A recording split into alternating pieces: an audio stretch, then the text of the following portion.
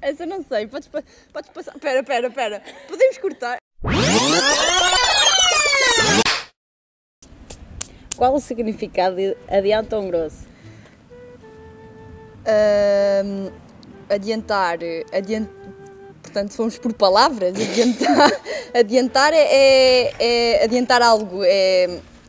ah, não sei, passa à frente. Qual o significado de alapar? Alapar.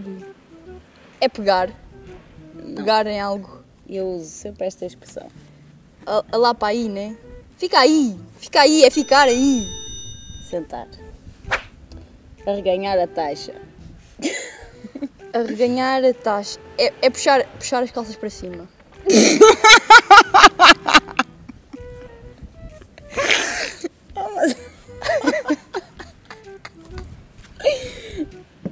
que é que tu passas a vida a fazer? A reganhar a taxa. Abanar o rabo. Não. Isto vai, isto vai, para, isto vai para aí. Bregar a mola. Ai, é bem. Bregar a mola. O que é aquilo que tu me fazes? Trabalhar. Trabalhar. o que significa biqueiro? Há uma pessoa que chuta de bico, sei lá, que, que usa bicos. Tipo aqueles sapatos de bico. tipo biqueira de aço, estás a ver? Anda biqueira de aço. O que significa broeiro? É uma pessoa que fala muito alto. Pode-se considerar pessoa rude ou com maus modos. Cascos de rolha. Ah, não sei. Cascos de rolha.